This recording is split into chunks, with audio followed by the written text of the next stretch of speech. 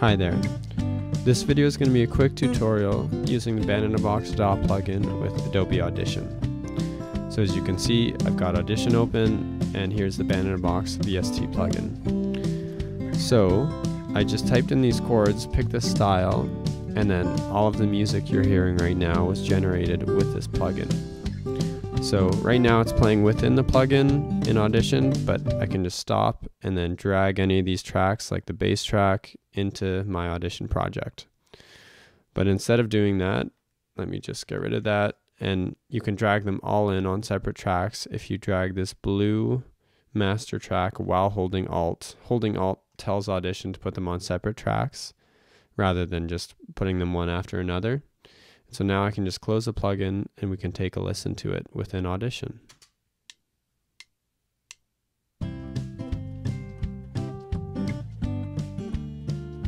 And of course, everything's dry right now, no reverb, no panning, but of course, you can do whatever you want, like I'll pan this guitar to the left, and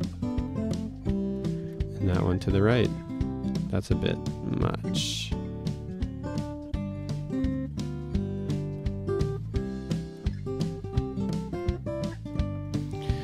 So I'm going to stop this here and you probably have Audition installed already. I hope you do, but I'll show you how to get the Band in a Box plugin installed. So I'm just going to go File, New, Multi-Track Session. Whoops. And I'll just call it my song for video. Okay, so now I've got a blank song in Audition, and now I just need to get the plugin open. So I've already got Band in a Box 2019 for Windows installed, and that is, you do need to have that installed on your computer.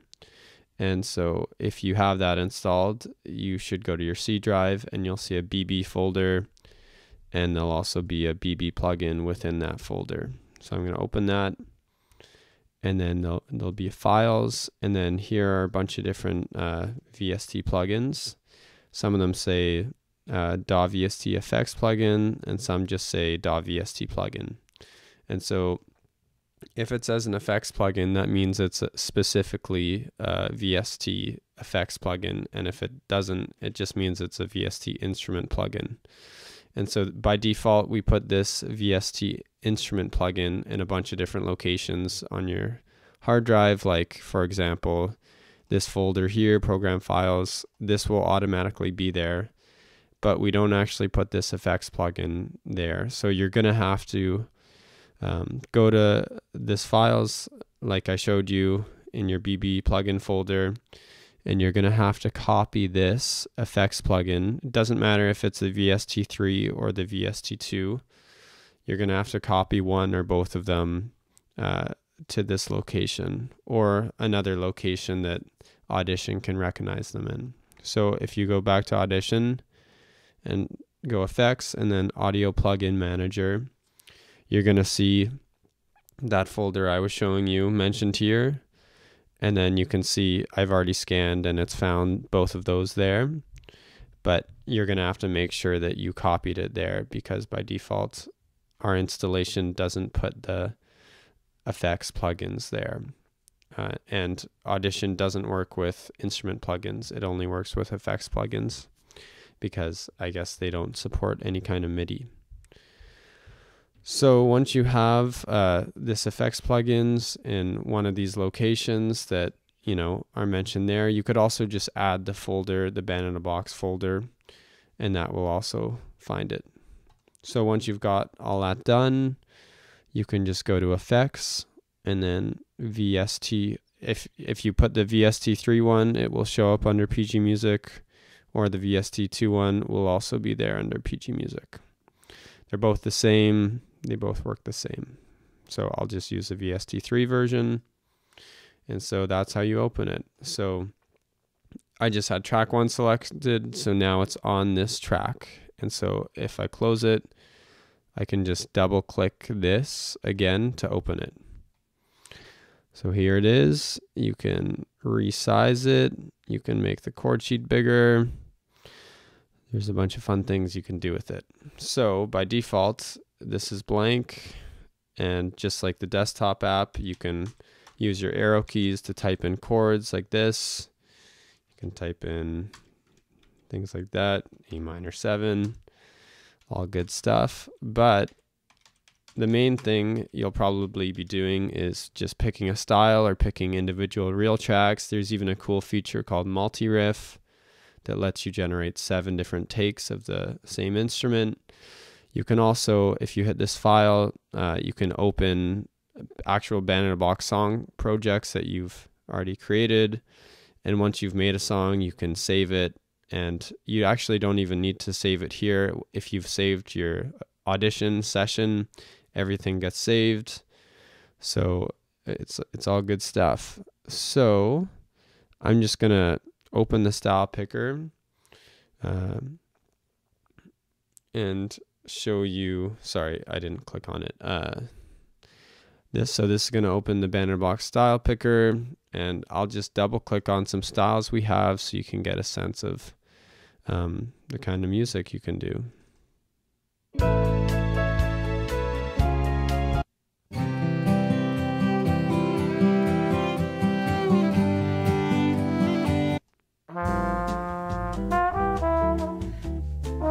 Bunch of jazz styles.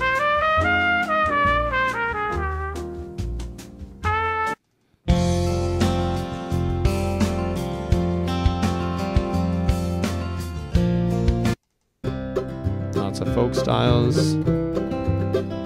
I'll just go to some random ones. I'll just keep clicking till I find something I like.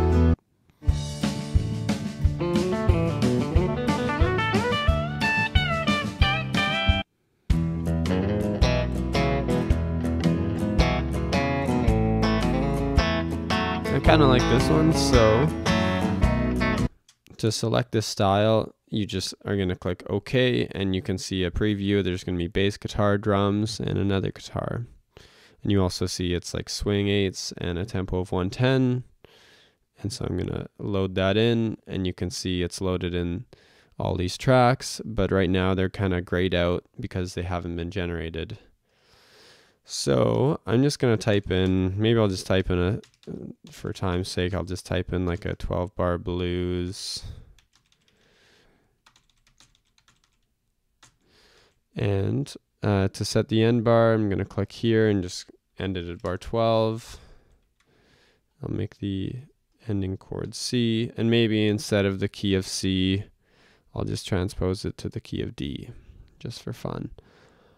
And I guess I can, you know, there are a bunch of, you can generate an individual track. Like if you just wanted the drum track, you could just generate that. I'll just hit this big generate button uh, because that's just going to generate all these individual tracks. And of course, you know, I could just drag the bass track if I wanted to, but I, I want a full band. I'm not working with anything. This is just a blank song. So this is going to give me something to work with and there's actually a shortcut in Audition. Just there's a bunch of tracks that I don't necessarily want. If I hit Shift E, that's just gonna erase all the empty tracks. And so once this is done generating, I'm gonna um, drag this blue um, blue master track and holding Alt will put them on separate tracks. So that's what I'm gonna do gonna drag this gonna make sure I hold alt and then here we go. Um, you can also you know sample each individual track here like I could hit play.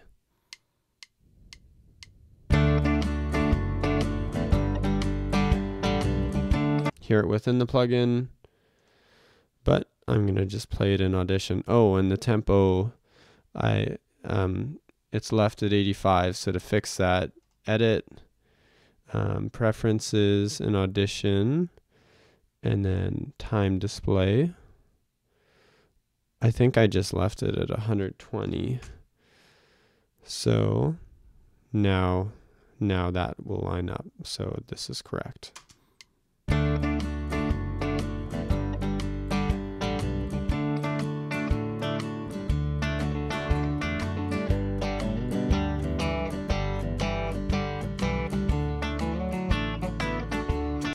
So that's how to uh, pick a style and generate everything from scratch.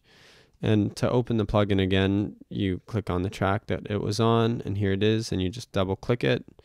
So now it's opened, it's saved our settings. And let's say we wanted to add a soloist to this or something, like an individual RealTrack. We hit select, and there are a bunch of different options here, some MIDI options. And unfortunately, Audition doesn't do anything with MIDI, so we can just ignore those. But we could make a loop or a user track. Um, but maybe I'll just pick a real track. So this is going to launch the real tracks picker. And maybe I'll just filter by solo. And maybe I'll type in guitar. And I know it's around 120. So maybe I'll just filter by tempo.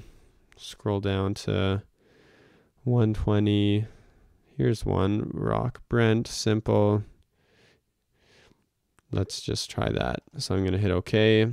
And you see it's created a second page. And you can just hit down and so I could just right click and just generate that. So in just a sec, once it's kind of filled in, oh, there we go, it's generated. So I'll just drag this down there and we should have a guitar solo now. So let's hear how that sounds.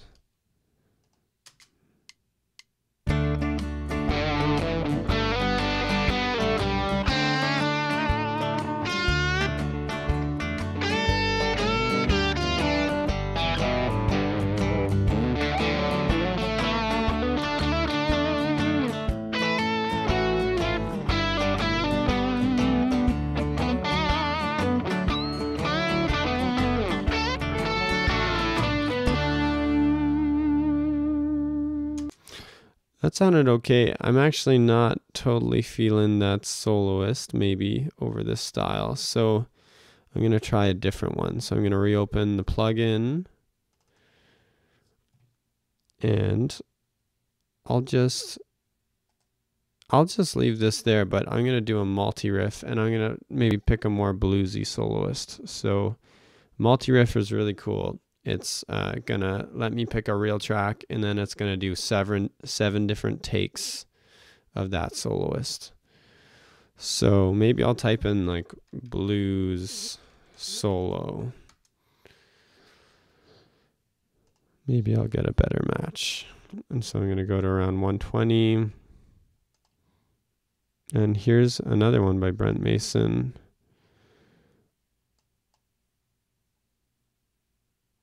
and maybe I'll do a swung one. So let me try this country shuffle Brent. This one might be cool. So I'm going to hit OK. And with a multi riff, you can either do the whole song or just do a bit. Maybe I'll just, for the sake of this, I'll just do these four bars to show you that you can just generate uh, uh, over four bars. So I'm going to go custom generation and then go multi riff, riff of selected region. And so what this is going to do, you see it's created uh, seven different riffs and it's actually made a third page so we can navigate the pages by these arrows. And so it's just taken its time to to think of seven seven different kind of riffs to play. And then here we go, it's done. So let me see, I'm just gonna do this and hold down the Alt key again to get them on separate tracks. Oh, and actually I started it at bar 5 and it does a one bar lead in. And if we adjust for the two bar lead in uh, from this chord sheet, then it should start at bar 6 of this timeline. So let's drag that to bar 6 and then, so this should be right now. And so let's mute a bunch of these because I don't want them all playing at the same time.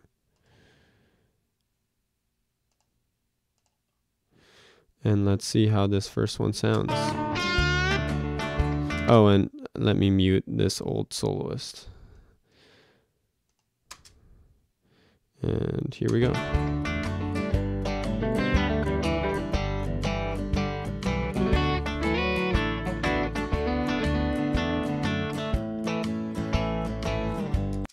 That was the first one. Let me try the second one.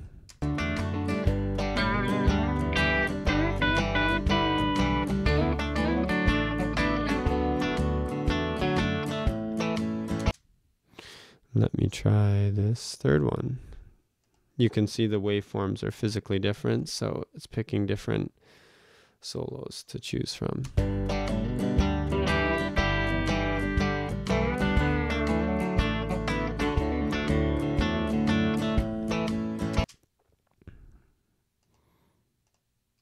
What about this one?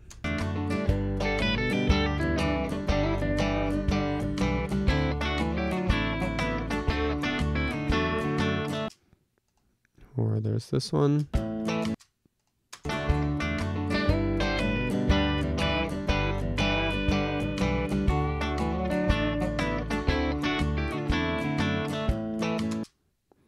Let's listen to one more.